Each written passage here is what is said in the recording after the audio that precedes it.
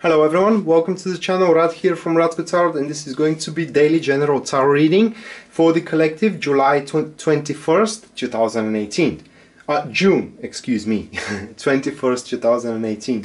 So uh, that being said, this is going to be a four card spread and the first card does expresses up the topic of the day here. The second card that shows up the negative approach we could take toward the topic. The third card shows the positive approach that we can take and we should toward the topic. And the last one shows up the benefits we're gonna reap in case we do keep these couple of conditions here, the negative and the positive approach in check. So let's see about the topic here. And that is going to be the Ace of Swords.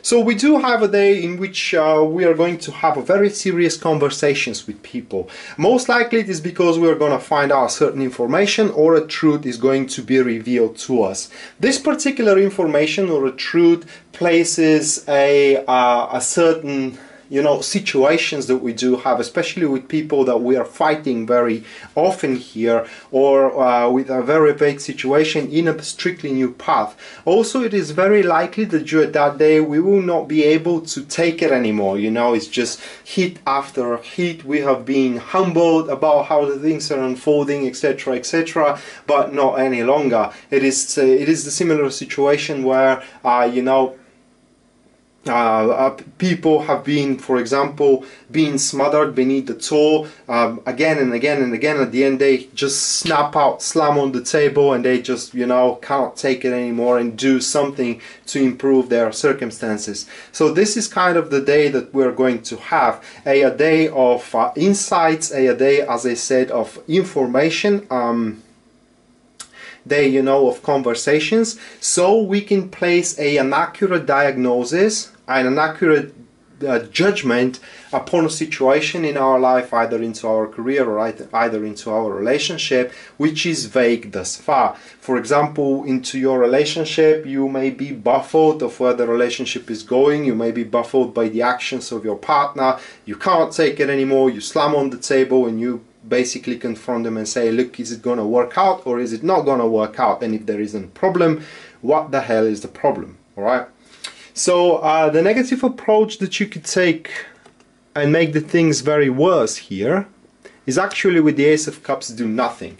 Now instead of confronting those people, you know, you may indulge yourself with different activities which are making you, which are giving you pleasure. No different than people who does not want to face um, the problems in their life and they turn into drugs or different kind of uh, you know different kind of supplements or replacements of uh, the you know the poignant experiences they have to go through. Now people need to understand and this is even in the creed of tarot that there is no such thing as a life that it is a hundred percent happy and positive. There is always balance. And today if we don't um, if we don't face our opposition or if we don't face the poignance into our uh, enterprises and into our situation situations by confronting those that are mistreating us by confronting uh, those which are not giving us enough so we can hold, hold on to or those which are which are not acting fair against us you know but instead we kind of like um, pretend you know that these things will not happen again and we just you know go out and party with friends or just play video games or whatever you know uh, that makes us forget that we have to face the actual problem while we deprive our, ourselves from happiness in the future because as I said there is a balance. You don't face the the poignance you deprive yourself from happiness. If you face it the happiness will find you one way or another with equal measures so that being said, this is the negative approach uh, that you can do by taking no approach whatsoever and deflecting the topic of the day.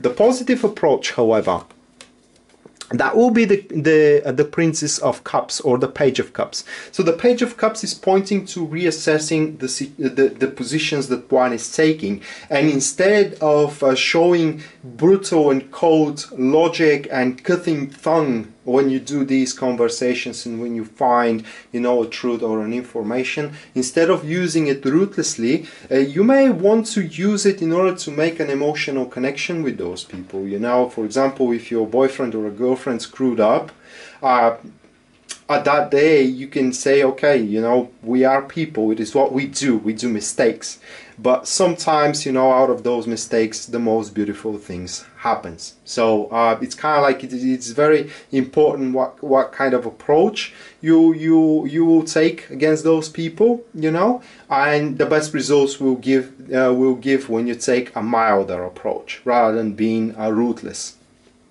Also the page of cups it is urging us not to be um, I don't know the English word here but rather not to be um, staggered by the minor problems here and the small problems. Just for an example uh, is um, is the blanket red or blue you know? Uh, because you could you could be pissed off because for example your your partner with which you are living it is not uh, taking off his shoes or her shoes when they come back home.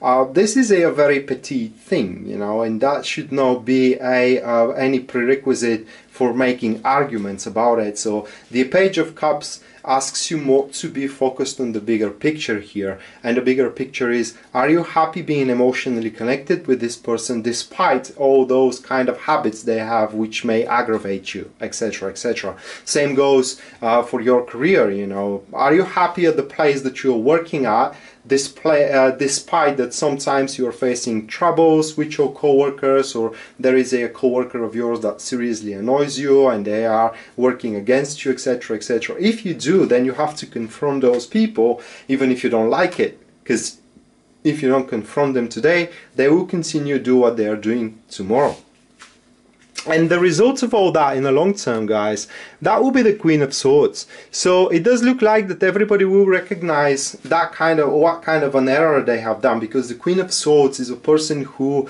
uh, draws experience from the poignant experiences they have in the past. That being said whatever you confront those people for all right uh, that will not be repeated again. So if you set up an agreement or you have clear out um, kind of like an argument and disagreements with your partner in love, you can be assured that the, uh, I mean on the 21st of June, you can be assured that these things will not happen again further in the future for what you talked about. All right, so make sure that you talk uh, for the um, as much topics as possible.